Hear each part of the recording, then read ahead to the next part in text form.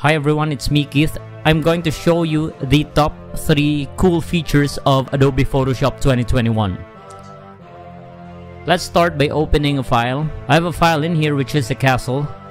The first feature is the so-called sky replacement. We can access it through edit and click on sky replacement.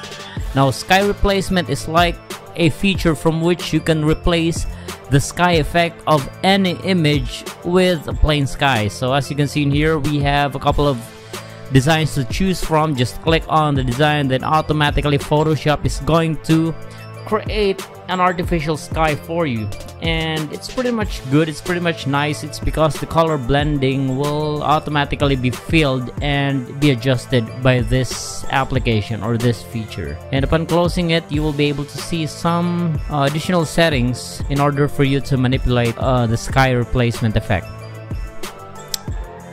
Next in line is we are going to open another file. This is a black and white picture and we are going to change its effect or we are going to colorize this one. So by clicking on filter there's this new feature in here which is a beta filter. We call this one as colorize. All you need to do is just to click on the slider and automatically Photoshop is going to adjust the color that would match the image that you have.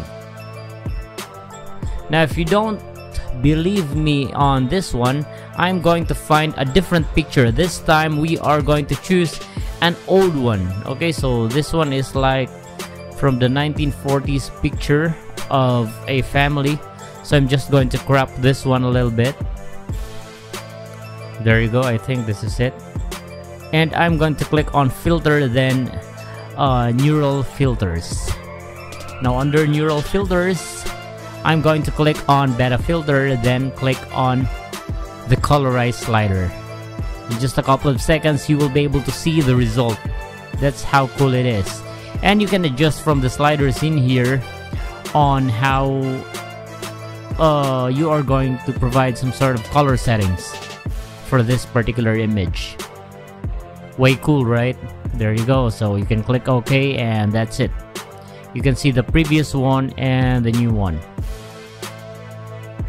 Let's close this one. And the last effect we have the so-called the background remover effect okay? So the background remover effect is like an automated version of it. So all you need to do is just to search for remove background under help and discover. And click on the quick action option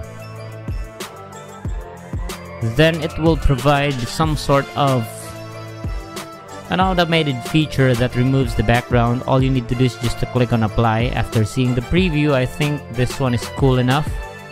Then that's it. That's how you remove the background in Photoshop. Now it's pretty cool. It's because you you don't have any other thing to do. Just by clicking on a particular button then automatically it will be removed that's so cool right? That's pretty much cool on the new feature for Adobe Photoshop 2021 so that's it for now guys. There are still a lot of features cool features in there but these uh, these three are the most uh, recognizable okay? Subscribe for more and that's it. Bye for now